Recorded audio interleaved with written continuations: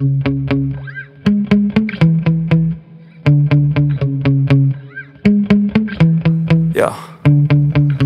Sometimes I get so mad, there's no controlling me. My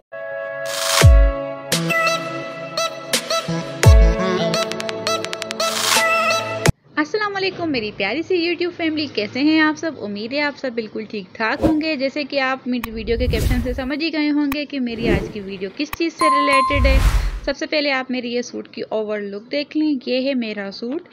आजकल social media में, magazine में, tailors के पास, हर जगह पे आपने देखा होगा, ये रिंग वाला डिज़ाइन बहुत ज़्यादा इन है।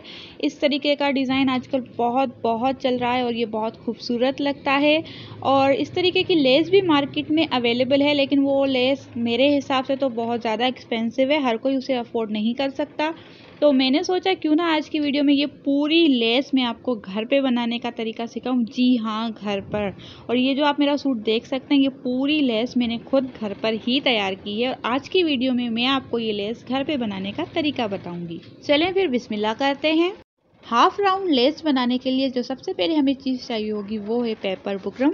जी हाँ पेपर बुकरम से ही ये सारी डिज़ाइन बनाना पॉसिबल होगा और ये पेपर बुकरम आपको किसी भी लेस धागों वाली शॉप से आराम से मिल जाता है।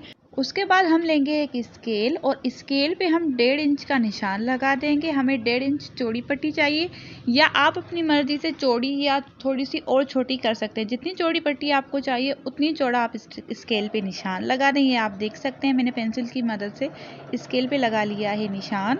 अब इसी स्केल की मदद से हम पेपर बुकरम पे जो हमने निशान लगाया था उतने उतने इंचज़ का चौड़ी चौड़ी पट्टियाँ काट लेंगे। पट्टियाँ हमें आड़ी काटनी है। सीधी सीधी पट्टियाँ हमें नहीं काटनी।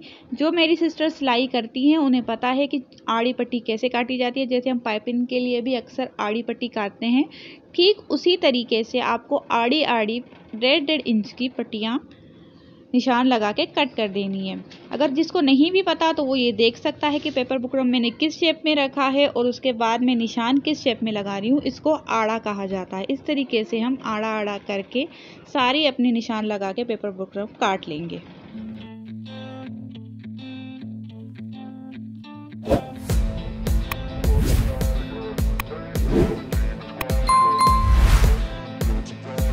और यहाँ पे मैंने पेपर बुकरम काट के उसी साइज़ का कपड़ा लेके, जिस भी कपड़े कलर का कपड़ा आपको लगाना है, वो कपड़ा लेके मैंने इस्त्री की मदद से, इस तरीके से चिपका लिया था। आप देख सकते हैं, इस्त्री की मदद से मैंने सारा कपड़ा उन पट्टियों पे चिपका लिया था, जो पट्टियाँ हमने अभी काटी थी। मुझे अपने सूट के अकॉर्डिंग ग्रीन पिंक और ब्लैक कलर चाहिए था। आप अपने सूट के अकॉर्डिंग कलर चूज़ कर सकते हैं। जैसा आपका सूट हो या जैसा कॉम्बिनेशन आपको चाहिए हो, आप उस तरीके का कपड़ा ले सकते हैं। ये आप देख सकते हैं। यहाँ पे प्रेस करके पट्टियाँ मैंने तैयार कर ली हैं। उसके बाद हम दोनों साइड से पट्टियों को इस तरीके से, स्त्री की ही मदद से मोड़ लेंगे। ठीक है? ये देखें आप इस्त्री की मदद से मैंने दोनों साइड से पट्टियों को इस तरीके से मोड़ दिया है, किनारी बना दी है पट्टियों की, ताकि हमें सिलाई लगाते वक्त आसानी हो। अब आ जाता है हमारा मशीन का काम। जो इस्त्री की मदद से जो हमने पट्टियाँ मोड़ी थी, उसको अंदर की तरफ़ फोल्ड करके हम मशीन पे लगा लेंगे सीधा सिलाई और बना लेंगे एक चौड़ी सी पट्टी।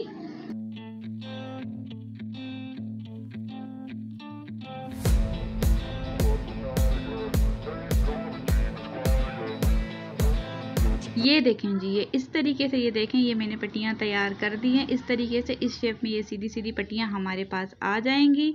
ये मैंने अपनी तीनों कलर्स की पट्टियाँ यहाँ पे तैयार कर ली हैं। ये देखें, ये ब्लैक आ गई, ये पिंक आ गई, ग्रीन, सारी जो भी मुझे बनानी थी, मैंने वो सारी तैयार कर ली हैं। अब आ जाते हैं हमारे नेक्स्ट स्टेप पे और दोबारा हमें चाहिए होगा स्केल और स्केल पे हम लगा लेंगे पूरा छह इंच का निशान और छह इंच के निशान पे हम ये पट्टियाँ काट लेंगे। यहाँ पे मैं सारी पट्टियाँ काट चुकी हूँ। उसके बाद आ जाते हैं हमारे मोस्ट इम्पोर्टेंट स्टेप पे। इस स्टेप को आपको बहुत ध्यान से देखना है और फॉलो करना है। ये मैंने ली है पट्टी और शावर की मदद से मैं इसको पूरा कर रही हूँ गीला।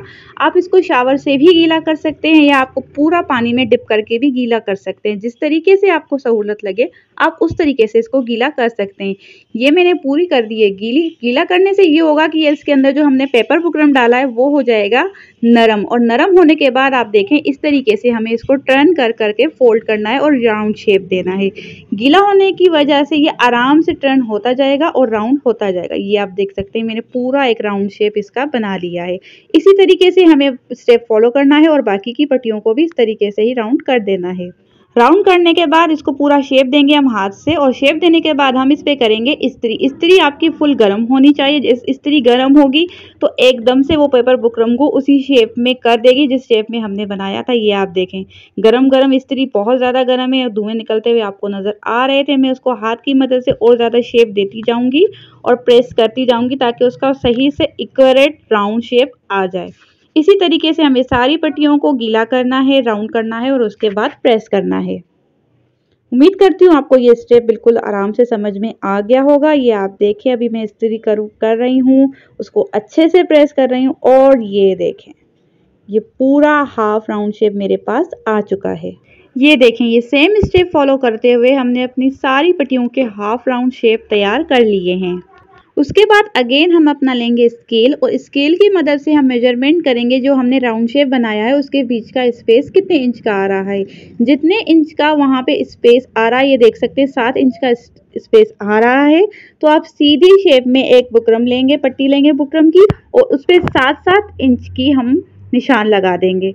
सात इंच सात इंच सात इंच करते करते हम इस सीधी पट्टी पे निशान लगा देंगे। निशान लगाने के बाद हमें ये करना है कि जो हमने निशान लगाया है, वहीं पे सेम एग्जैक्ट हम इस राउंड को रखते हुए जाएँगे और सिलाई करते जाएँगे। राउंड को इधर उधर नहीं करना निशान से, वरना हमारा शेप बिल्कुल ख़राब हो जाएगा टेढ़ा मेढ़ा हो जाएगा। जो हमने निशान लगाए हैं, उस निशान के अकॉर्डिंग ही हमें ये राउंड शेप रखते जाना है और सिलाई लगाते जाना है। जिस तरीके से मैं कर रही हूँ, इस ठीक इसी तरीके से।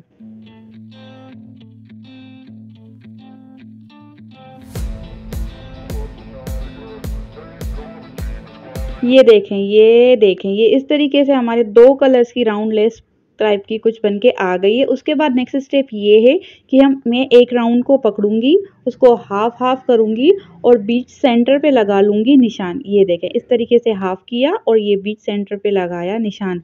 ये निशान मैं क्यों लगा रही हूँ, आपको अभी आगे जाके पता चल जाएगा। इसी तरीके से सेम यही स्टेप फॉलो करते हुए हमने सारे राउंड्स को ऐसे पकड़ना है और ऐसे भी हाफ़ हाफ़ करके इस पर लगा देना है निशान। उसके बाद का नेक्स्ट स्टेप हमारा ये है कि ये जो हमने निशान लगाए थे और हमारा थर्ड यानी कि ब्लैक कलर वाला राउंड रहता है, उसको हम लेंगे और एक साइड से हम इसको नीचे से क्रॉस करेंगे और दूसरी साइड से हम इसको ऊपर से रखेंगे। यानी कि पिंक वाले की नीचे से मैंने इसको क्रॉस किया है और ग्रीन वाले के इसको ऊपर से मैंने रखा है।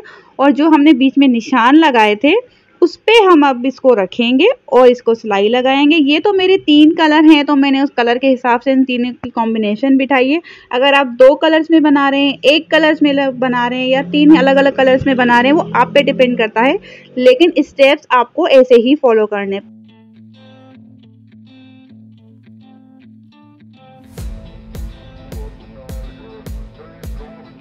और ये लीजिए, आपकी हाफ़ राउंड शेप की लेस तैयार हो चुकी है। इसको आप दामन पे, बाजू पे, पाँचों पे जहाँ लगाना चाहें लगा सकते हैं, लेकिन आप देख सकते हैं, मैंने इसको लगाया है कमीज़ की दामन पे, और ये बहुत बहुत बहुत प्यारी लग रही थी सिलने के बाद इस शर्ट में, और ज़्यादा खूबसूरती आ गई थी।